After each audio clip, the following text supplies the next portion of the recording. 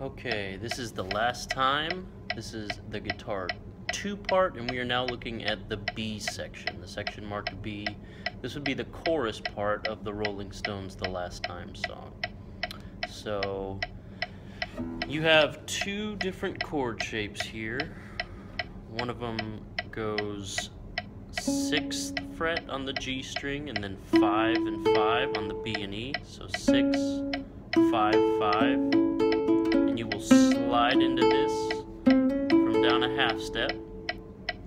And then you have the same shape, but up five frets. So now we are looking at 11, 10, 10.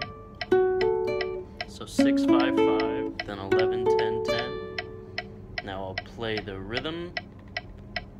One, two, one, two, three, four.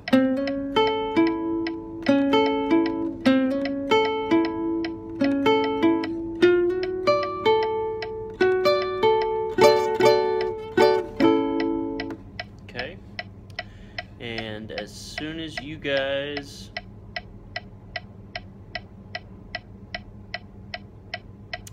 go down, you are starting back in on your.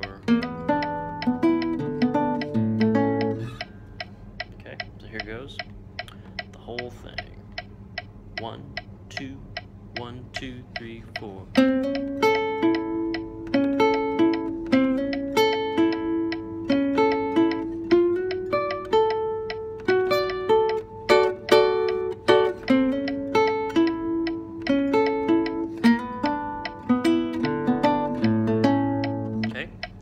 So you do these hits up here on D.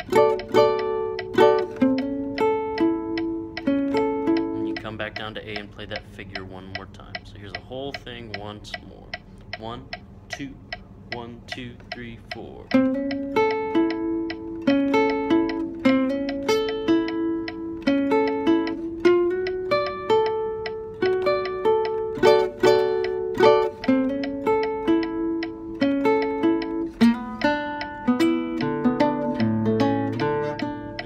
back to the beginning. Okay, good luck.